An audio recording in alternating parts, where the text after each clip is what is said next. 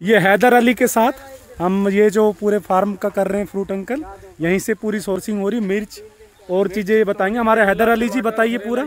क्या क्या उगा रहे हैं आप यहाँ? करेला टमाटर घिया पेठा जी अच्छा। भिंडी इंडी तोरी तो सारे कोई आइटम है तो खाद वगैरह जैसे ट्रैक्टर से घेर रहे हैं क्या कैसा खाद घेर रहे हैं देसी खाद है जी। कैस गोबर वगैरह और वाला। अच्छा। तो ये आप उच्चतम क्वालिटी की चीज़ें डायरेक्ट सप्लाई करते हो आप। ये जैसे तरबूज है इसमें। तरबूज। तरबूज बढ़िया क्वालिटी का। ये उच्चतम और ये मिर्च वगैरह जो आप चीज़ें उगा रहे हैं हाँ जी। इनको फ्रूट अंकल को जो आप सोर्स करते हो बताइए अभी देख रहे हैं लोग कि किस तरह से हम कैसे सोर्सिंग लेते हैं आपसे। ये देखिए जी बताइए। हाँ बताओ। ये डायरेक्ट सोर्सिंग इनसे कर रहे हैं हैदर जी हैं ये हमारी गाड़ी आई हुई है। हैदर जी बताइए हम कितने समय से आपसे लेके जा रहे हैं? लॉकडाउन के समय आप मंडी नहीं जा पा रहे। पहले से लेके जा रहे हैं आप। और लॉकडाउन में आप मंडी नहीं जा पा रहे तो हम जा नहीं पा रहे ही नहीं वहाँ सप्लाई ही नहीं से माल उठ रहा है जी। अंजा तो पूरा आपका माल जैसे गाड़ी में तोरिया लगी हुई है पूरी।